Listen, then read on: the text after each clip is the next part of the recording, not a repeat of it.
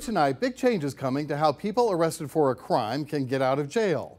An overhaul of the bail process starts today, but the Shelby County DA is resisting critics who say it amounts to a get out of jail free card. Stefan Reels is live to break it down for us tonight. Stefan? Well, Richard, the whole thing around this is talking about people in jail. And according to the Shelby County District Attorney's Office, they say around 75% of Americans in jail, like the ones in 201 Poplar, they're not actually convicted of crimes. In fact, a lot of them are facing the struggle of not being able to pay off the bail that they were given in the first place.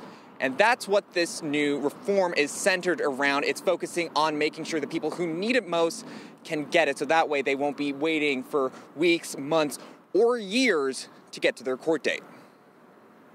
It's harder on the poor, it's harder on minorities.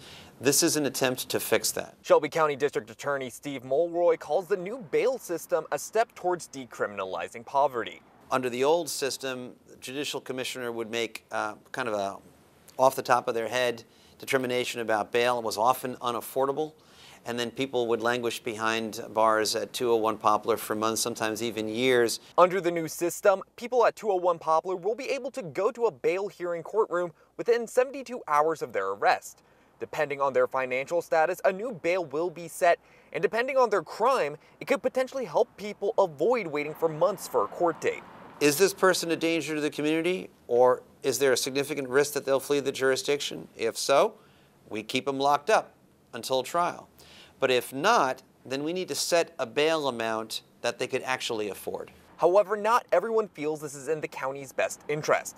Kimberly Charles from All in One Bonding and Insurance tells ABC 24 it's unfair to victims to have people released without recourse and could lead to people becoming repeat offenders due to the jail being a revolving door. But Mulroy argues there's no need to worry. There have been studies around the country about both before and after these types of reforms have been implemented, and there has been no significant increase in crime, violent or otherwise, so it's really a very small percentage of people who do this.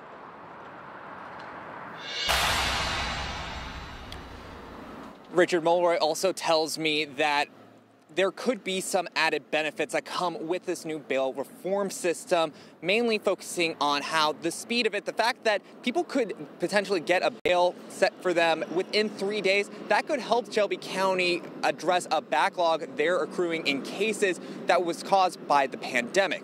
That's what we have for right now. Live from outside 201 Poplar, I'm Stefan Reels.